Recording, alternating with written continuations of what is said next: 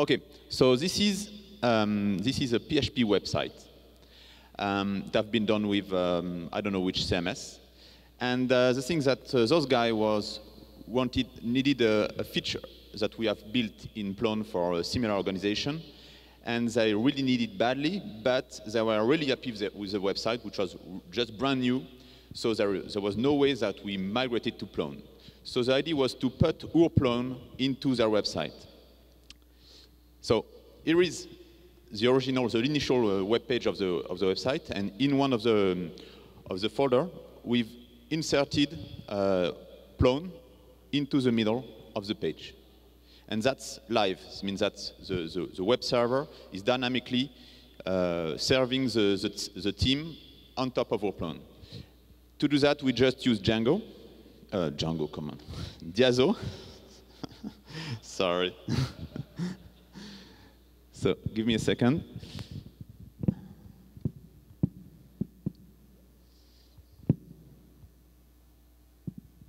I don't know if you can read it. Yeah. So uh, basically, you, in Diazo, you need to enable network. You need to set a path prefix, like uh, something like, uh, let's say, main site. And then your SIM is directly provided by the original website, okay, through HTTP. And you just insert your, your um, JS and, uh, and CSS, and you replace the main content with the Plone content. To make sure that the Plone CSS won't mess up with uh, the initial CSS, you just produce a new CSS with less, or Sass or whatever, where you include, you import all the Plone CSS into uh, the, the, the, the, selector that uh, correspond to the part of the site where you inject your Plone.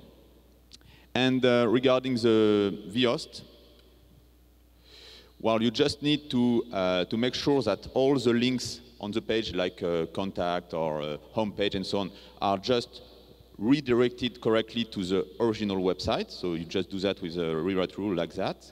And you just proxy everything uh, which is corresponding to your um, prefix, your Diazo prefix. So you get all the original CSS, all the original image directly into your Plone. So that's way you can put your Plone into somebody else's website. You can put your Plone into somebody else's Drupal. You can put your Plone into somebody else's WordPress or put your Plone into somebody else's uh, Liferay, for instance. You could even put your Plone into somebody else's Plone, but I think um, it's not respectful. That's it.